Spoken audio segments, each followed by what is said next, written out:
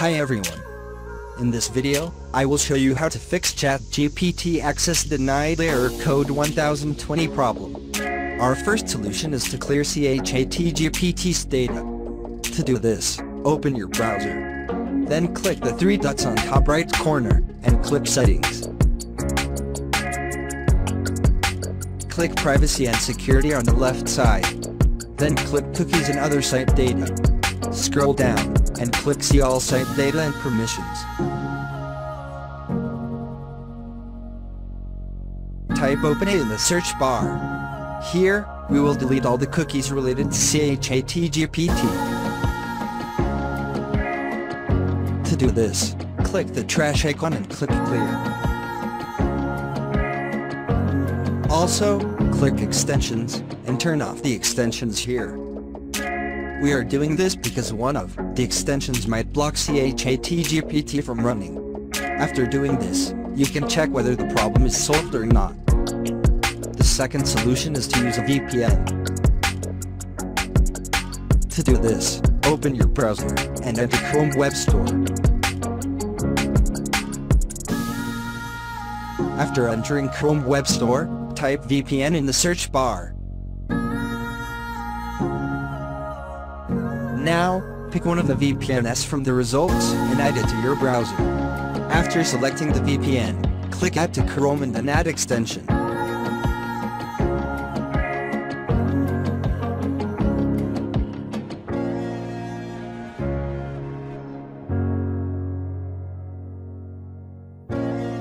Now, using this VPN, you can test if the problem is solved. If the problem is not solved, we'll move on to the third solution. The third solution is to reset our IP address and DNS server. To do this, come to search bar and type commander. Then, run cmd as admin. Now, there are three codes we need to type here.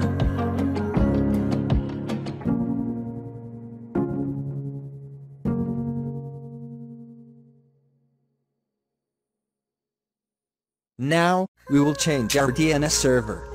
To do this, open Control Panel from the search bar.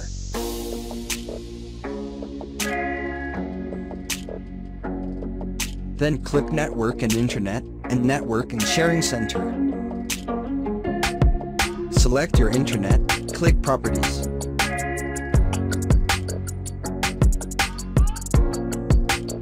Then click on Internet Protocol version 4, in Properties. We need to check use the following DNS server address in order to change the DNS server. After doing this, you can set preferred DNS server, an alternate DNS server like this. This DNS server belongs to Google, and it is completely trustworthy. You can use it comfortably. After setting preferred DNS server, an alternate DNS server like this, click OK. You can check if the problem is resolved after doing this. If the problem is not resolved after trying these solutions, it means the problem is in your browser. You can try solving by using Firefox or Opera, instead of Chrome browser. We have come to the end of the video. I hope this video fixed your problem.